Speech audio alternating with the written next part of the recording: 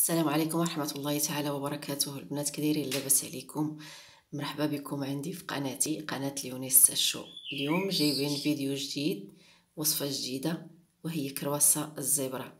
إلا كنتو أول مرة كتشوفوا الفيديو يا ريت تشتركوا في القناة تفعلوا الجرس وديروا لنا les likes. نخليكم مع المقادير. فرجة ممتعة.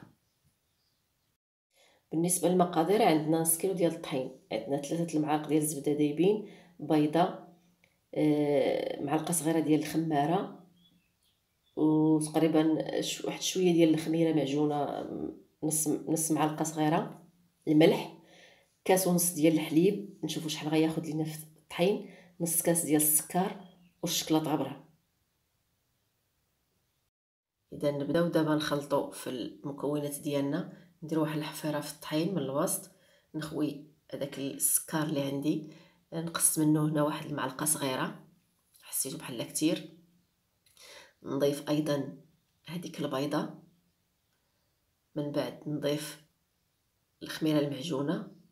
تقريبا آه سبعة الغرامات هكاك شي حاجة قليلة ماشي كثيره بزاف. من بعد نضيف الملحة. نضيفها على جنب ما نخلي ما نحطهاش على الخميرة. ونضيف من فوق منهم الزبدة اللي ذوبت من قبل.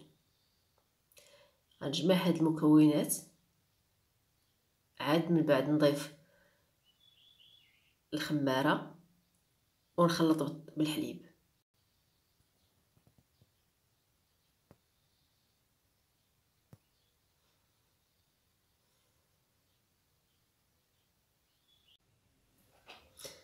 من بعد ما خلطت هذيك المكونات اللي درت في الأول كلها دابا نضيف الخمارة معلقة صغيرة كيف كتشوفوا بهذه الصورة.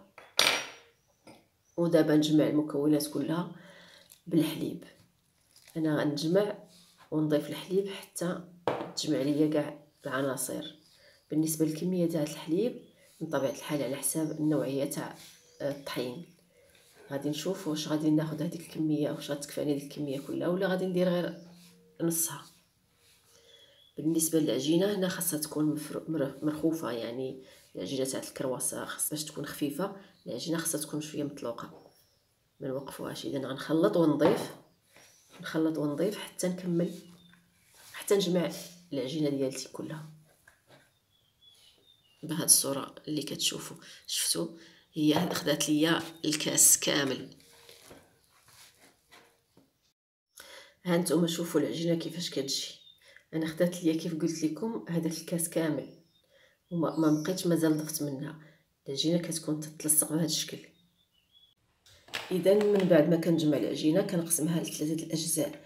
أول جزء كنضيف ليه معلقة كبيرة ديال الشكلاط غبره والجزء الثالث كنضيف ليه نص المعلقة باش نحصل على واحد الدرجة ديال اللون مختلفة. إذا كنخلط هاد الشكلاط مزيان في هاد العجين. وباش ما تنشفش لينا العجينة وتجينا ثقيله آه، كنضيف واحد المعلقة ديال الحليب لهداك الشوكولاط وهي اللي غادي تخلي لي العجينة آه، في نفس القوام. إذا غنخلط مزيان هذاك الشوكولاط ونخليه يدخل يدخل ليا ندخلو مزيان في ديك العجينة ومن بعد نتابعوا الوصفة.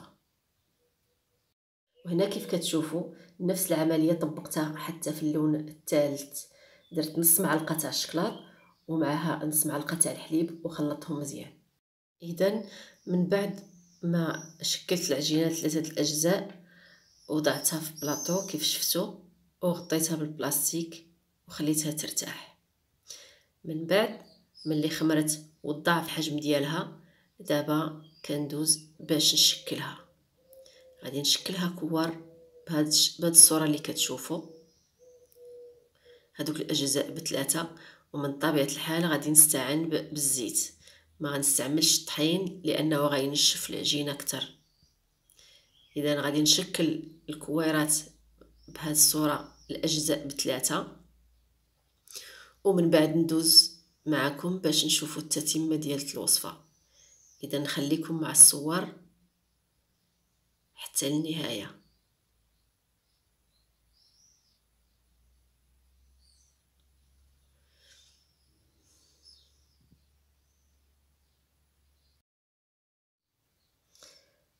إذا من بعد ما شكلنا العجينة اللي عندنا كويرات صغار بالصورة اللي شفتو دابا غادي نبدأ نورق فيهم. من طبيعة الحال كيف قلنا غادي نورق بالزيت. كناخذ جوج الألوان.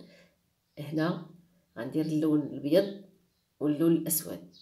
كنورقهم بهذا الشكل اللي كتشوفوا ومن بعد كنوضعهم فوق بعضياتهم ونعاود نرققهم أكثر. خليكم معايا. بهذه الصورة كنوضع البيضة فوق الكحلة. نورق مزيان.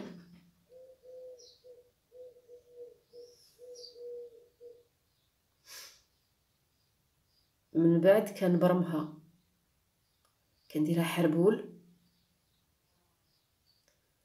بهاد الصورة اللي غتشوفوا دابا بهاد الشكل. غنتنيها على زوج. بحال هكا. ومن بعد غادي نقطعها بالموس من الوسط. شوفوا مزيان. بهذا الشكل.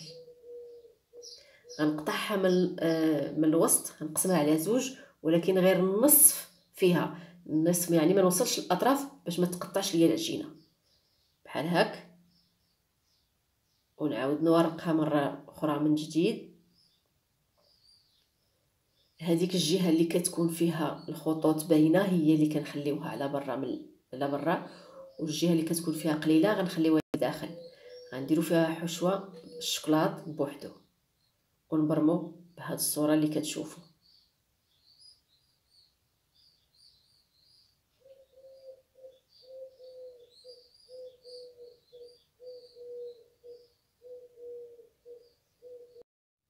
باش توضح لكم الصورة أكثر غادي نعاود معكم واحدة أخرى.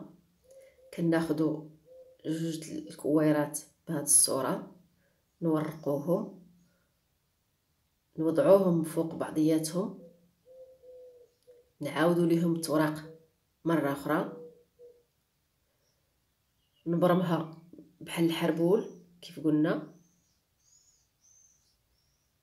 بهذه الصورة. من بعد نثني على زوج ونقطع بالموس.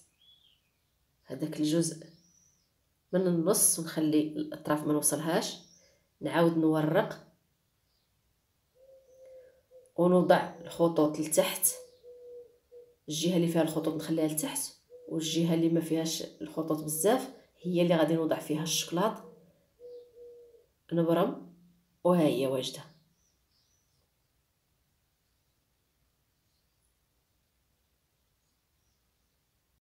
اذا من بعد ما شفنا الشكل الأول وهو درنا هو اللي درنا فيه جوج الألوان. كنشدو جوج الكويرات كنورقوهم نطبقوهم على بعض نبرموهم ومن بعد نقطعوهم بالطريقة اللي شفتو ونديرو فيهم الحشوة. دابا غادي نشوفوا شكل آخر اللي كنطبقوا فيه الألوان بثلاثه كناخذ الكويرات كنورقهم بهذه الصورة وكنوضعهم فوق بعض. بحيث هذاك اللون الفتوح الابيض هو اللي غادي ندير في الوسط باش يعطي فرصة الالوان بثلاثة يبانوا إذا كنورق مزيان وكندير حلبو حربول بنفس الطريقة اللي درنا في الأول بهذه الصورة. نقطع أيضا بالموس وما نوصلش الاطراف باش ما تقطعش اللي هي العجينة.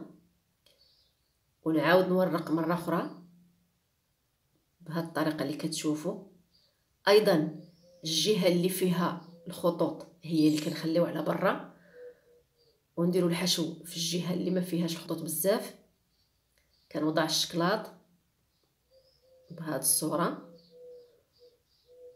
ونشكل الكرواسة ديالي بهذه الطريقة.